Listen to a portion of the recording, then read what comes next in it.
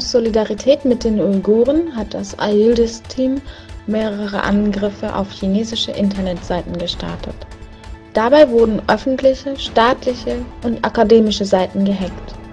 Als Botschaft hinterließ das Team die Parole Wir sind bei unseren uigurischen Geschwistern.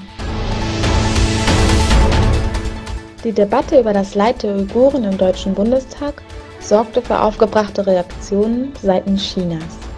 Das Land beschuldigt Deutschland, sich in innere Angelegenheiten einzumischen. Der chinesische Konsul in Berlin kritisiert, dass die Debatte über die Menschenrechtsverletzungen trotz Kritik aus China abgehalten wurde.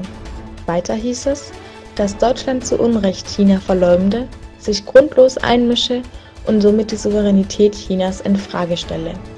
Um den Protest gegen diesen Vorgang zu verdeutlichen, werde man weitere diplomatische Schritte einleiten.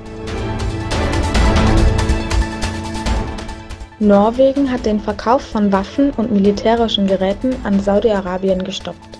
Die Außenministerin Norwegens, Ine Eriksen Soreide, verkündete in einem Interview an den Staatssender NRK, dass Norwegen aufgrund des tragischen Jemenkriegs weder Waffen, Munition noch Ausrüstung an Saudi-Arabien verkaufen werde.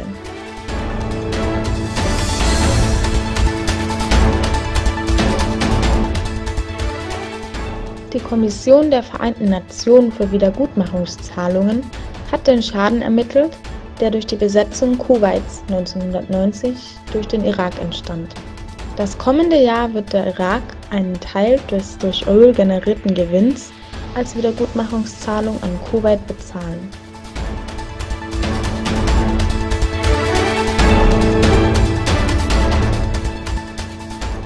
Michelle Bachelet Hochkommissarin für Menschenrechte bei den Vereinten Nationen, rief zu schnellem Handeln auf, um das Leid der Zivilbevölkerung im Bürgerkrieg Jemens zu beenden.